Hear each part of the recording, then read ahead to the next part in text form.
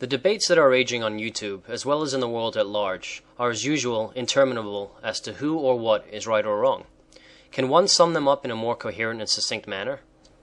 Dear listeners, we have decided to put up this chapter because of the enormous frustration and animosity engendered by this series among the followers of Muhammad who listen to it. You realize from their comments that although their attacks are directed upon the reader of this series, who is actually only a messenger, the reality is that they are shocked, humiliated, and angered by the message contained therein. The dialogue that we read between some of our supporters and those Mohammedans who insult us with unbecoming language also shows our supporters' frustration at the fact that all the references in chapter and verse that we prove to all in this series are willfully and deliberately ignored as well as denied by the followers of Muhammad. We have therefore decided to create a scenario reversing the role of the Muhammadan so-called believers with that of the so-called unbelievers, having the Muhammadans on the receiving end of hate, to find out how they would address themselves and react under this hypothetical situation. In this assumed version of the Bible, the believers will be the Christians and the Jews, while the unbelievers will be the Muhammadan Muslims or simply Muhammadans. At the end of each verse recited, we shall give the actual name, chapter and verse of its Quranic original. Verses such as the following. Fight those who believe not in God nor the last day, nor hold that forbidden which had been forbidden by God, nor acknowledge the religion of truth, Christianity and Judaism from among the Mohammedan Muslims until they pay the jizya tax with willing submission and humiliation. Al-Tawbah 9.29 Believers, Christians and Jews, do not take any unbelievers, Mohammedans, as your friends or protectors, because they are your mortal enemies. Al-Ma'idah 5.51 Believers, Christians and Jews, the Muhammadans say that Muhammad is the Son of God. That is a saying from their mouths. In this, they but imitate what the unbelievers of old used to say. May God's curse be on them. How they are deluded away from the truth. Al-Tawbah 9.30 Therefore, when you meet the Muhammadans, smite at their necks. Muhammad 47.4 Strive hard, jahidu, against the Mohammedans and be firm against them. Their abode is hell, an evil refuge indeed. Al-Tawbah 9.73 As for those disbelieving infidels, Mohammedans and pagans, God will punish them with a terrible agony in this world and the next. Al-Imran 3.56 It is the wish of the followers of Muhammad to lead you astray, but they make none to go astray except themselves, but they perceive it not. 3.69 O you who believe, Christians and Jews, take not into your intimacy those outside your religion, Mohammedans. They will not fail to corrupt you. They only desire your ruin. Rank hatred has already appeared from their mouths.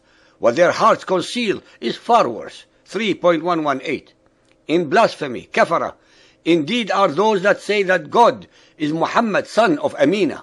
Al-Ma'idah 5.17 For the iniquity of the Muhammadans, we made unlawful for them certain foods, good and wholesome, which had been lawful for them, in that they hindered many of God's way. Al-Nisa 4.160 Strongest among men in enmity to the believers, Christians and Jews, will thou find the Mohammedans. Al-Ma'idah 5.82 Of the Mohammedans, there are those who displace words from their right places and say, we hear and we disobey. Al-Nisa 4.46 but when the forbidden months are past, then fight and slay, faqtulu, the Muhammadans wherever you find them, and seize them, beleaguer them, and lie in wait for them in every stratagem of war.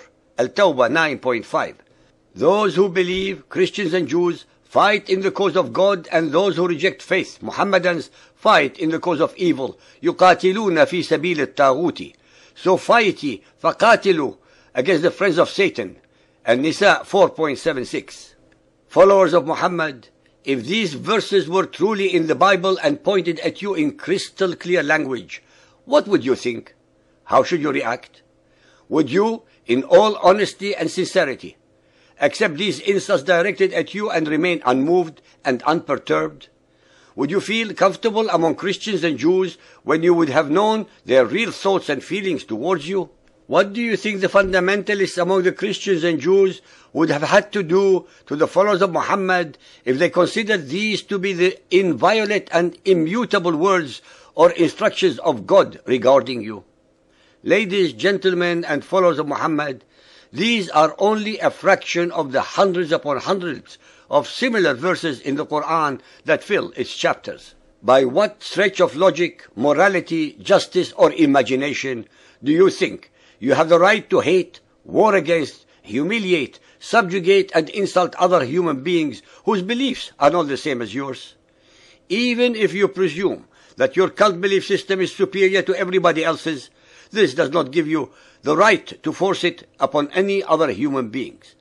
You have the right to evangelize your beliefs and debate them with others to convince them into accepting Muhammadan Islam, but it is up to the individual human being to decide to join you or not. Why, if Muhammadan Islam, in your opinion, is superior to other beliefs, do you need to resort to violence, force, and terror to convert others? Why, if it is such a sublime belief system, do you need to butcher any who changes one's mind and want to opt out of it? Why do you discriminate against all other beliefs in your Muhammadan countries, but have the audacity to demand your religious rights in Christian, Buddhist, and Hindu countries? You build your mosques all over the world, whether Hindu, Buddhist, Christian, or Israelite, but deny the same peoples building their own temples in your Muhammadan Muslim states from Saudi Arabia to Mauritania and from the Sudan to Pakistan. Are you so blind morally and intellectually not to find such behavior hypocritical in the extreme, to say the least? So you follow the dictum that what is yours is yours, but what is ours is also yours?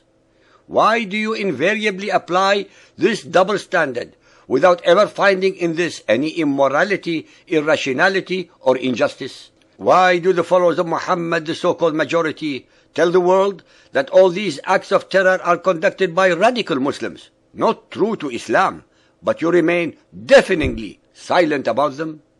It was Muhammad, after all, who asserted that silence means consent. If you truly disapprove of these acts of wanton terror and slaughter of innocent and unarmed civilians all over the world, committed in the name of Allah, why do you not demonstrate against them? You vented your anger and had time to demonstrate about cartoons that killed no one. Why are cartoons, even about Muhammad, more important in your estimation than human life? Muhammadan Muslims, look at yourselves in the mirror and see the following. You write more but learn less. You have more degrees but less common sense. You have more knowledge but less judgment. You hate too much and love too little. You talk too much but make no sense. You are very long on quantity but very short on quality. You don't have a life because you prefer death. You aggress upon others but whine that you are victims. You boast about yourselves but all is empty rhetoric. This chapter is dedicated to you only, to make you think if your own attitude toward the so-called unbelievers is justified. Can any follower of Muhammad listening to this chapter answer any questions truthfully and realistically? The time for you to get enlightened and re-evaluate your belief system is now. Because contrary to your own self-proclaimed propaganda, the world is slowly but most assuredly waking up to the nightmare of the cult of Muhammad, and there will be repercussions.